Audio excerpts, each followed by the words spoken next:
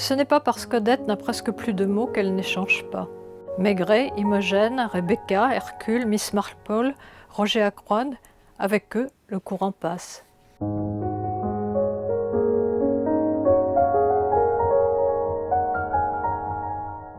L'interlocutrice, c'est quelqu'un qui ne sait plus très bien où elle est, ni même qui elle est, mais qui sait encore lire.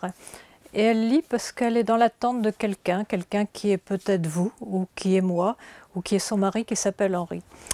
L'interlocutrice, c'est aussi ma mère, Odette, qui était atteinte dans la fin de sa vie de la maladie d'Alzheimer. Et j'ai découvert après son décès dans sa bibliothèque environ deux douzaines de livres de romans policiers de la collection Le Masque.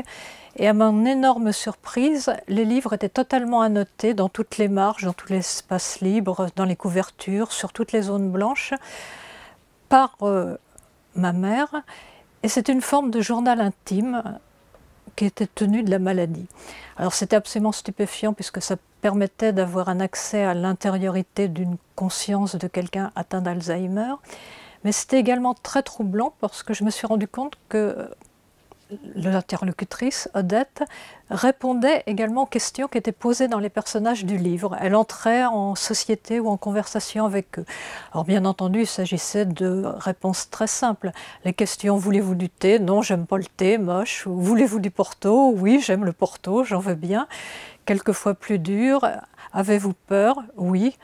Combien de temps vous reste-t-il à vivre? Oh, moi, dix ans, mon cœur est solide, je vivrai bien encore dix ans.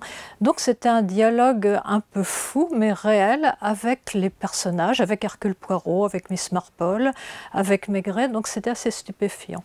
Et il y avait un troisième point qui m'a énormément étonné, c'est que des phrases entières, des lignes entières étaient soulignées dans les livres.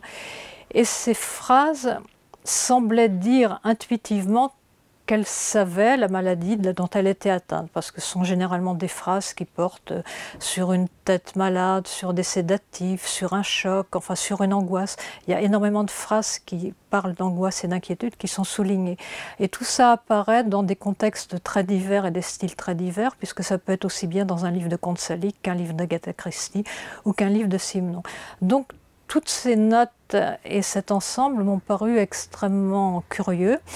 Sur le coup, j'ai tout relevé très précisément, ce qui était écrit et ce qui était souligné. C'était il y a 12 ans.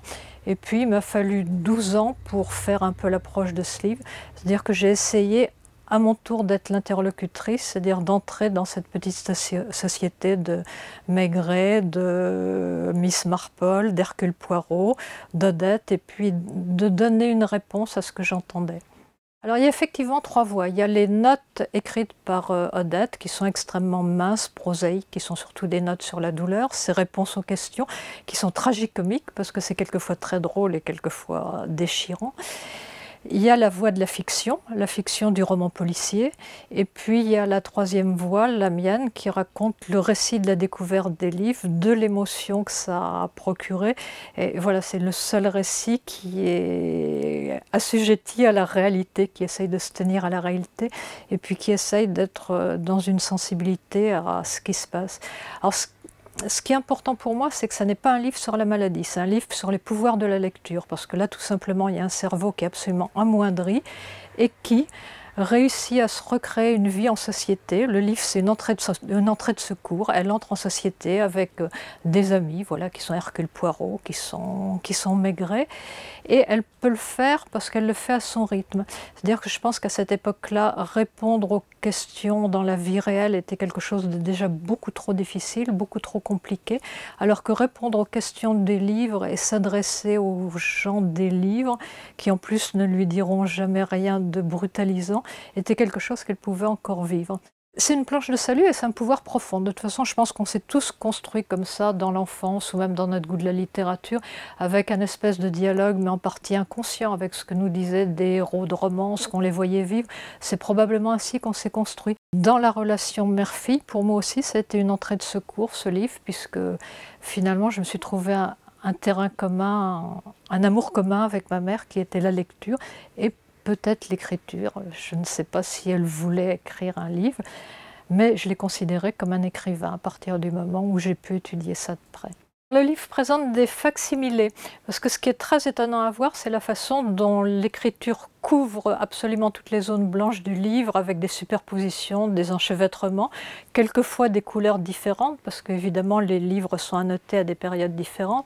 En fait, quand ma mère lisait des livres, elle en lisait trois simultanément qui étaient ouverts et superposés l'un sur l'autre. Et chaque matin, elle reprenait les mêmes livres au début, puisque bien entendu, elle avait oublié le contenu de ce qu'elle avait lu. Et elle écrivait partout, c'était possible.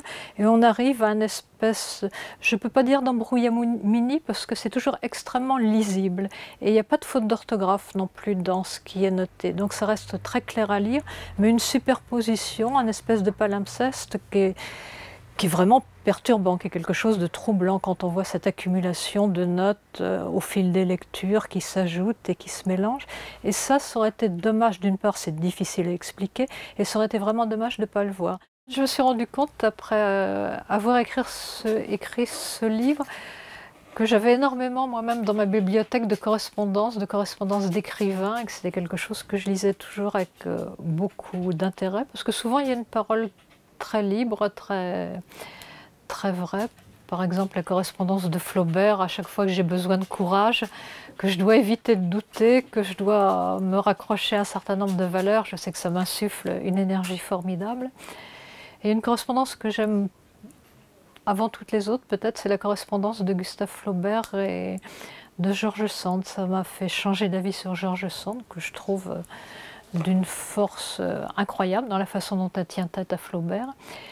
Et ce sont des gens qui ont à la fois des opinions politiques, des types de vie familiale extrêmement différents, et puis des choix d'écriture et des exigences d'écriture qui ne sont pas les mêmes et qui réussissent quand même à échanger dans cette immense différence et, à s'aimer et, et, à garder chacun leur personnalité propre et à accepter celle de ce qui est en face.